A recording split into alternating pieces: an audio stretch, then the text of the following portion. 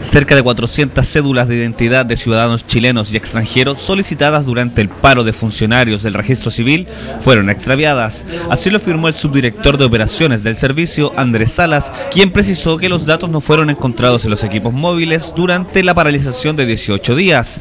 Situación caótica que a nivel local no ha tenido el mismo impacto. Así lo asegura Milagros Riquelme, oficial del registro civil, quien señala que solo se ha sufrido la pérdida de datos de una o dos pasaportes o carnet pero que eso ya se está solucionando. Sin embargo, el problema es el nuevo sistema, el cual ha sido un gran descontento y ha generado molestias en la ciudadanía, quienes han debido esperar interminables horas con la finalidad de realizar los trámites correspondientes. Así también lo replica Riquelme, quien señala que en cuatro horas solo lograron atender a 20 personas, cifra mínima a lo que se desarrollaba con anterioridad. Todo lo que los usuarios nuestros reclamen todo es cierto. En cuanto a la plataforma, de hecho hoy son, ¿qué hora es? Las doce y media del día y hemos atendido solo 20 personas.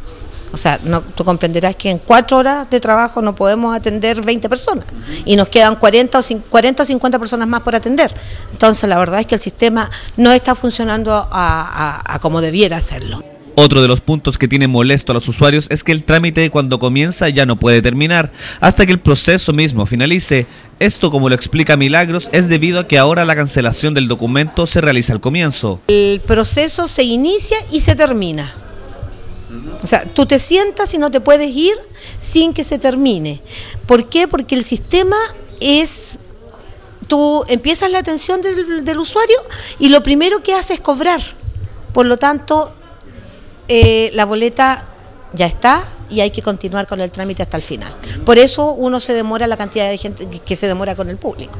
Por otro lado, Riquelme reitera a los usuarios que no deseen ser donantes el trámite que deben hacer para luego ingresarlos al nuevo Registro Nacional de No Donantes. Además, desde el Registro Civil esperan que este nuevo sistema se arregle con la intención de brindarle un mejor servicio a los usuarios. Sin embargo, saben que esto no depende de ellos, sino que a nivel de la capital.